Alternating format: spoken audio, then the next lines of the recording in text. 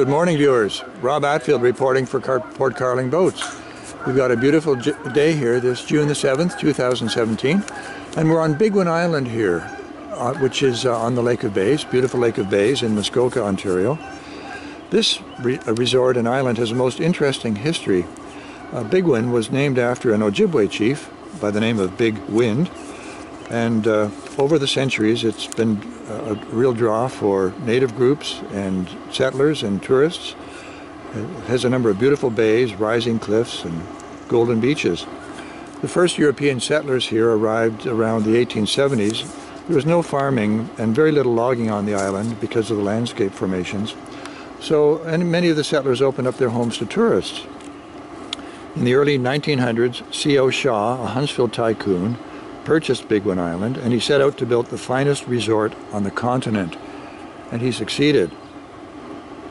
Construction on the resort began in 1915 on the southeast shore where we are now. And the uh, style was a combination of classical Mediterranean, Tudor, and Victorian architecture. The resort opened in 1920 and it was hugely popular with the socialites and the upper class. There was a grand hall and rotunda with fireplaces, fine dining, entertainment, water sports, and all sorts of summer recreation. In 1922, they opened a nine-hole golf course here. And in the 1930s, a second dining hall opened with big bands, including Count Basie, Duke Ellington, and Guy Lombardo. In the 1940s, some major stars like Clark Gable with Carole Lombard, Ernest Hemingway, H.G. Wells, and the Rockefellers and even Princess Juliana from the Netherlands, who was here to escape from the Second World War. Prime Minister Diefenbaker has visited, and along with uh, no notable other celebrities. the resort reached its peak in the early to mid 1940s, and in uh, 1942, the creator, Mr. Shaw, died. The resort's had multiple owners since then. At one point, a 3,000 foot airstrip was built and uh, it languished some years later. it's been converted to other uses now. In, in 1969, the East Lodge became a series of condos.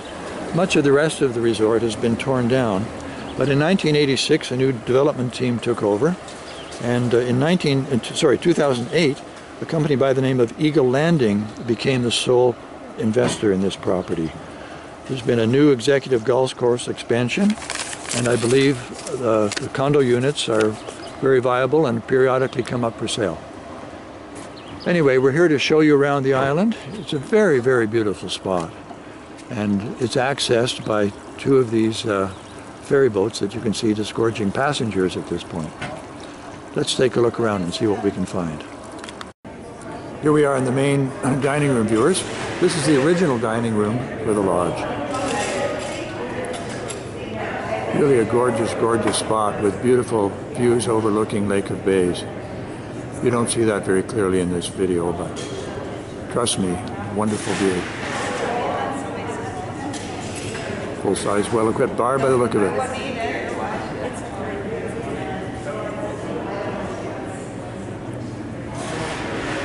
We'll continue our tour outside the building.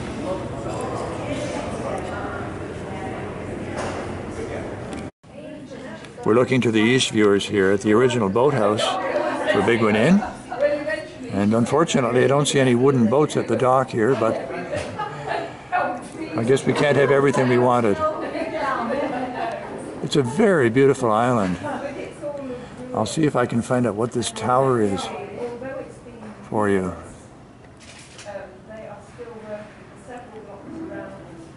Looking east along Lake of Bays.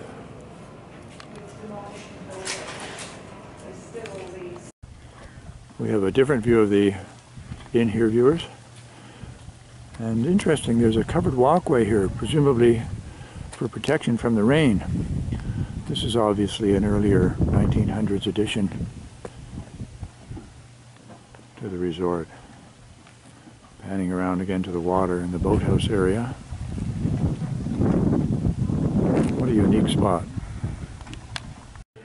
These cloisters, uh, viewers, were uh, built by uh, First World War prisoners of war, German prisoners of war, believe it or not.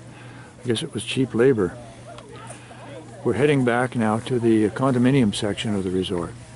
These are privately owned, I understand.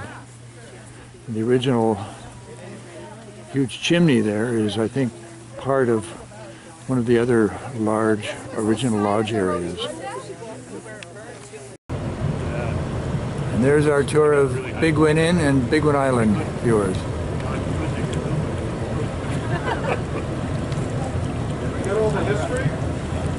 Thanks for watching. Over and out. basically in Upshur.